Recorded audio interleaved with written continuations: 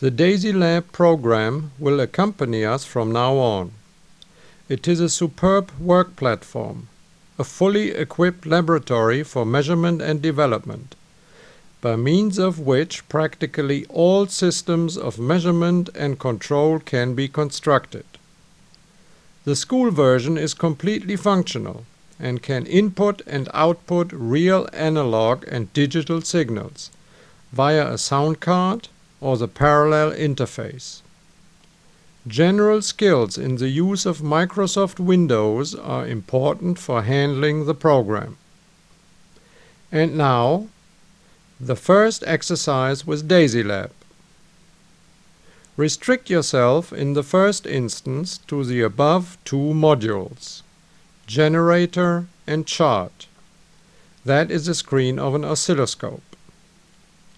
Let us try to produce a noise signal and make it visible. Please observe now the following steps. Any module can be installed either by clicking the corresponding icon on the module bar or by choosing it from the Modules menu. Place the mouse pointer on this module bar icon. It represents a generator module. Click the icon with the left mouse button and place it with another click on the left mouse button on the worksheet. A menu opens up and you see a selection of different generator modules. Click the standard module at the top. In the same way, choose a chart module. You have now integrated these two modules into your worksheet.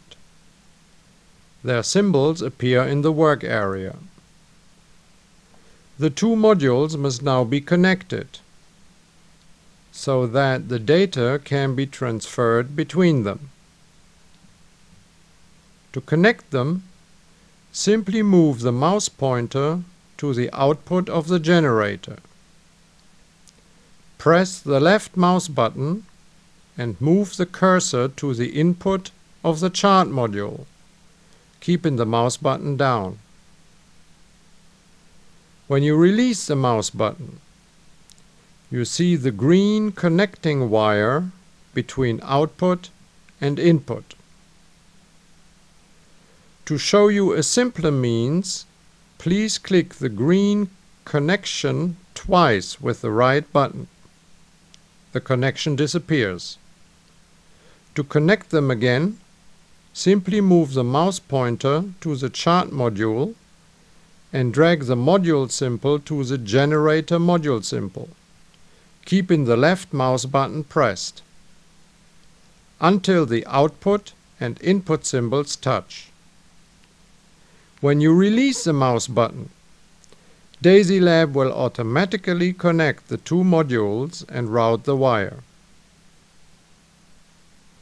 When you install a module from the display group of the Modules menu, here the Chart module, an additional icon will appear at the bottom of the screen. With a double click on this icon, you open the screen which will show the signals. With a double click on the module, you always open the module menu. Now you can select the parameter of the wanted signal. Here is the first trick. If the signal is to be represented perfectly and completely on the screen, choose Auto Scaling. A click on the Start button and you see the system in action. Familiarize yourself carefully with the way DASYLab functions. Any questions will be thoroughly explained under the menu option Help.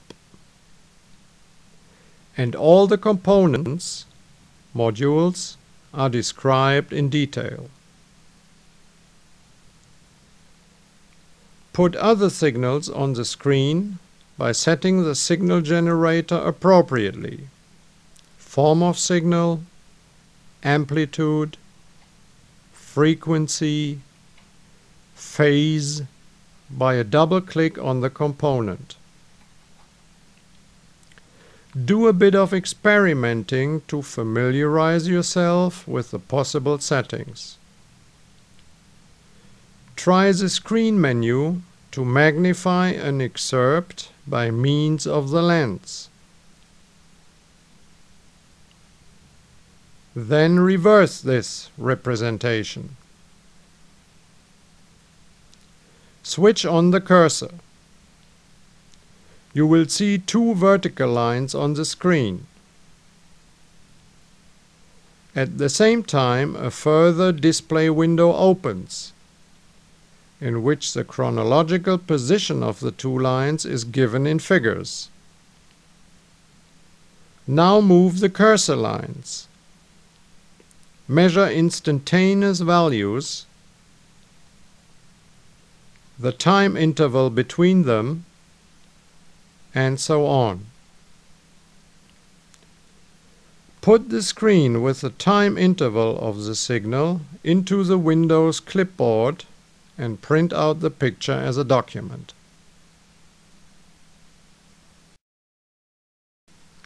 Exercise 2 shows the visualization of measurement data. The visualization of measurement data and signal processes is the most important aid in this manuscript for understanding signal processes. DASYLab provides many different visualization methods for measurement data and signal processes. First create the system illustrated by means of various visualization components. See above. Try to design the size and position of the displays as on the screen.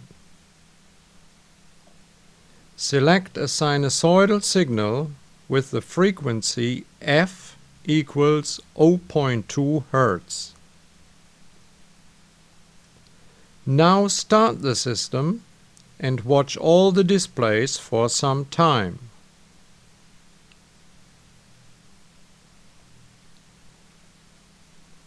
Try to find out which measurement data refer to the analog instrument, the digital instrument, or the bar chart.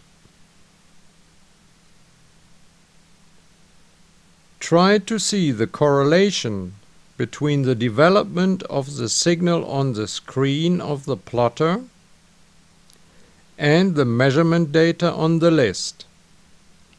F equals 0.2 Hertz.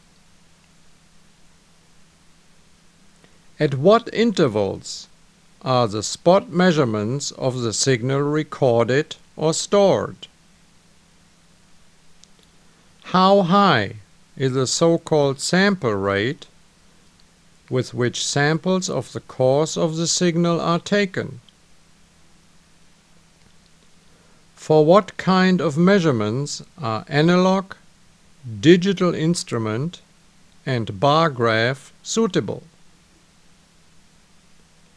What measurement from a whole block sequence of measurements do they reproduce? Which of the display instruments most clearly provides the readings which the computer could then process? Find out how to set the block format and the scan-in frequency in the menu AD. What exactly do these two quantities indicate? Set a block format of 1024 and also a sampling rate of 1024 for all further experiments. How long does a recording of a measurement sequence of a block take? And how many readings does it consist of?